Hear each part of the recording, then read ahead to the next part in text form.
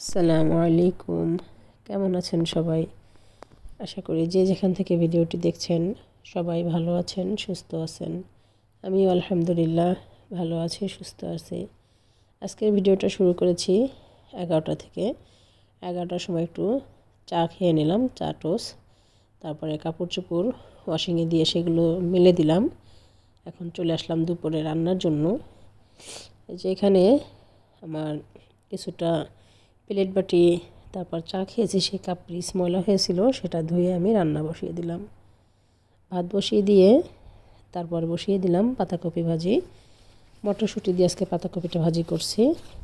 আর এখানে রান্না করতেছি মুরগির স্কিন মটরশুঁটি, আলু দিয়ে।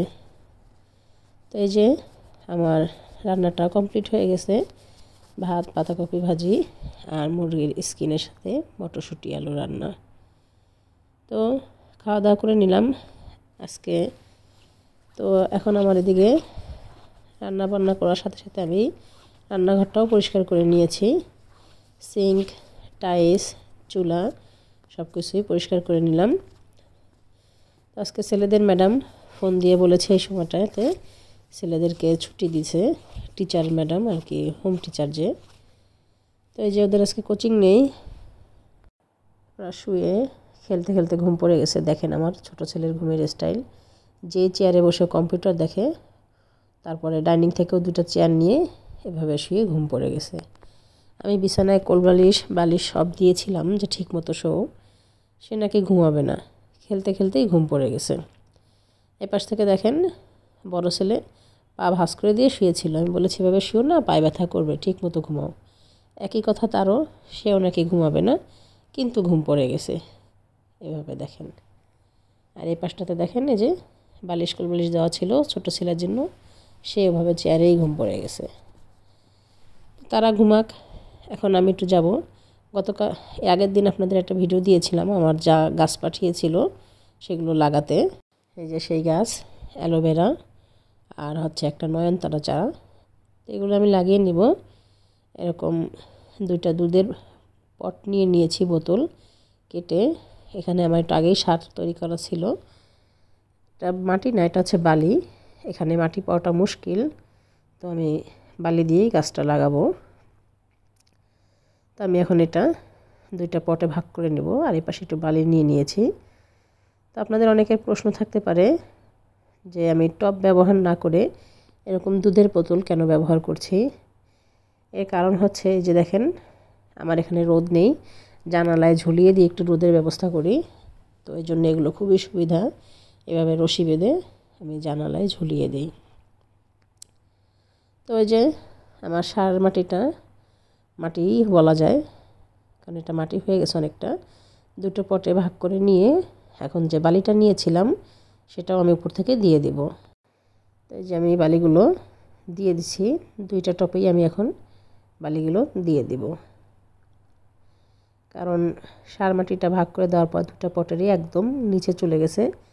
কিছুটা বালি দিয়ে এখন এটা ভরে নেব। ভরে আমি আবারও মিক্স করে নেব মাটির সাথে বালিটাকে।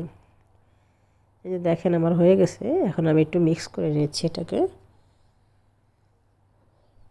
তো মিক্স করে নিয়ে এখন হচ্ছে আমি গাছগুলো লাগিয়ে দিব। তাই যে আমি এখানে একটা অ্যালোভেরা চারা লাগিয়ে দিলাম। এখন এর পাশে আর একটা অ্যালোভেরা চারা লাগিয়ে দিব। তো এই যে আমার সবগুলো গাছ লাগানো হয়ে গেছে। এখন আমি একটুতে পানি দিয়ে দিলাম। পানি দিয়ে এখন আমি গাছগুলোকে এদের জায়গা মতো নিয়ে যাব। আমার ঘরে রাখার মতো কোনো জায়গা নেই, কারণ বারান্দা নেই। তো ওই যে জানালার সামনে যে যতটুকু জায়গা, এখানেই রেখে দিই গাছগুলো। যদিও এখানে রোদ আসে না, তারপর একটু আলো আছে তার জন্য এখানেই রাখি। তো এখন আপনাদের সাথে শেয়ার করব। আমার আম্মু কিছু জিনিস পাঠিয়েছে, তার জামাইয়ের আবদারের কিছু জিনিস বলতে পারেন। ফোন দিয়ে বলেছিল কিছু জিনিস খাবে বানিয়ে দিতে, সেগুলোই দেখাবো আপনাদেরকে, কী কী দিল। এখানে যে চাল ডাল, তারপরে আছে তেল, মিষ্টি কুমড়া, এগুলো সব কেনা। আম্মু দিয়েছে যে বড়ই। এই তেলের পিঠা আর এই পাশে যে চিরা ভাজা, এই দুটা ছিল ওর আব্বুর আবদার সে ফোন দিয়ে বলেছে একটু তার জন্য এগুলো পাঠাতে।